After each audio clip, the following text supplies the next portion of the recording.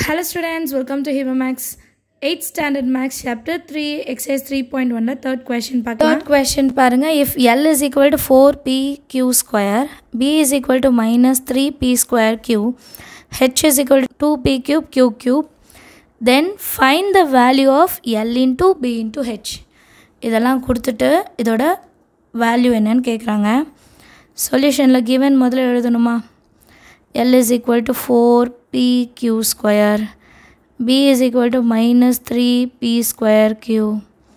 h is equal to 2p cube q cube. என்ன கண்டுபிடிக்கணும்?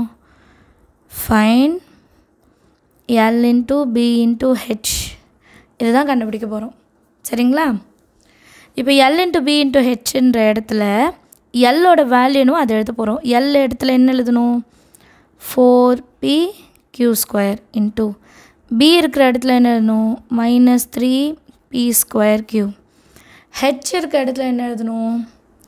Two P cube Q cube இப்போ எப்போவுமே நம்ம மல்டிபிள் பண்ணுவோம்ல அதே மாதிரி தான் முதல்ல numbers four into minus three into two into P பவரில் ஒன் இருக்குது டூ இருக்குது த்ரீ இருக்குது one plus two plus three into Q பவரில் two plus one plus three next லைனில் ஒரே ஒரு மைனஸ் இருக்குது அப்போ மைனஸ் எழுதணும். Four three are twelve twelve twos are twenty four P பவரில் one plus two three three plus three six Q பவரில் two plus one three three plus three six இதுதான் answer